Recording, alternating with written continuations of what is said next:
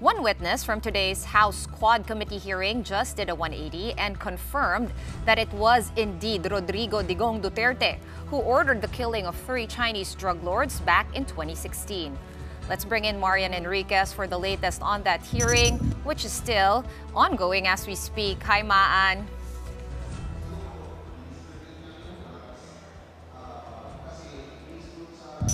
Hi, Shawn. Yes, your is still ongoing. As you can see behind me, the uh, interpellation is still ongoing here at uh, the uh, House of Representatives regarding the extrajudicial killings during the Duterte drug war.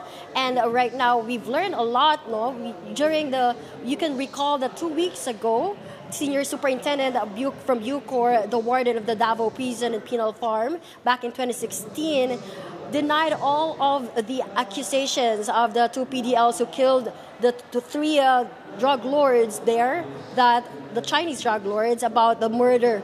And uh, he says that he has nothing to do about that. He has no knowledge about that. But just last week, remember when he, he retracted all of his statements and said that there was actually a call that he received from former CIDG officer Royina Garma and also, you know, the former uh, PCSO general manager ordering him that there will be an operation inside the uh, prison farm and that he's, she says that palay, palagpasin na lang or hayaan na lang. And just today, we learned about, you know, how uh, um, Gerardo Padilla actually really confirmed about receiving a call from uh, President or former President Rodrigo Duterte after the uh, killing of the three drug lords, congratulating him and saying, quote, good, good job, job well done, pero grabe yung ginawa, ginawang dinuguan. Okay. Maan, maan, um, we have established these connections, right? And um, I do remember from the last hearing that Gerardo Padilla did request for an executive session, and they did go into that executive session. Do you have any idea if this was what he told congressmen in there?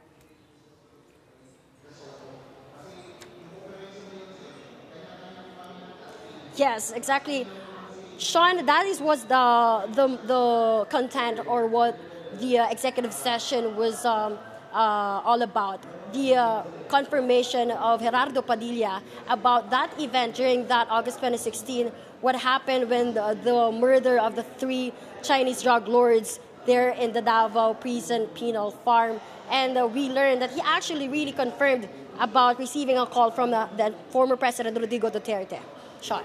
Maan, two people have been cited in contempt today. Uh, former Police Colonel Garma, as well as a former palace spokesman, Attorney Roque. What do we know about these two contempt orders and what are the logistics there? Where are they going to be staying?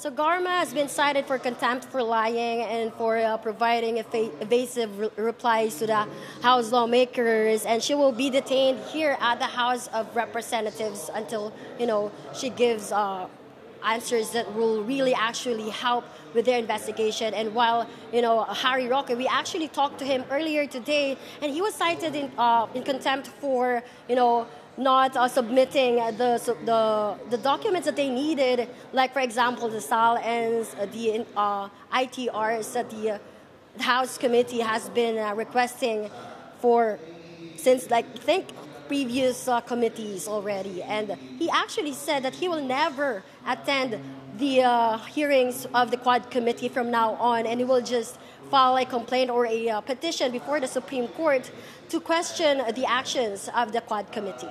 Shawn. Maan, at this point, uh, we're going to be seeing some salient portions of a statement that Attorney Harry Roque has sent out to the media. This is what you were saying also. Now, Attorney Roque said the House of Representatives Quad Committee's current inquiry is a political inquisition against the Duterte family and me as their outspoken ally. Obvious ang target nito ang dating Pangulong Rodrigo Duterte sa issue ng EJK, Davao City 1st District Representative Paulo Duterte at Attorney Man Scarpio ang mister ni Vice President Inday Sara Duterte sa issue ng droga at ako sa issue ng Pogo. Sa issue ng Pogo, malinaw na sinabi ni Cassandra Leong na hindi ako abogado ng Lucky South 99. End of story na dapat ito.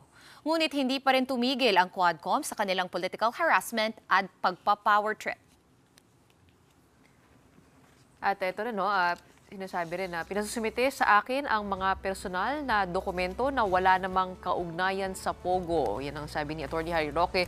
Uh, these documents include my statement of assets and liabilities from 2016 to 2022 or SALN, my and my wife's income tax returns from 2014 to 2022, our respective medical certificates, the extrajudicial settlements of the estate, and Quadcom also asked me for the transfer of shareholdings to attorney Percival Ortega with trust agreement and related documents submitted to the Securities and Exchange Commission, the ITR of Biancham Incorporated, and the statement of Biancham's beneficial owner filed with the SEC. Dahil dito, I have decided not to appear before the Quadcom until issues that I have ventilated have been brought to the highest court for judicial determination. So Maan, uh, just uh, no, uh, to, to be clear, no, what, what happens now to uh, Attorney Harry Roque? Is he already there? And uh, have lawmakers been told about the statement from uh, the attorney?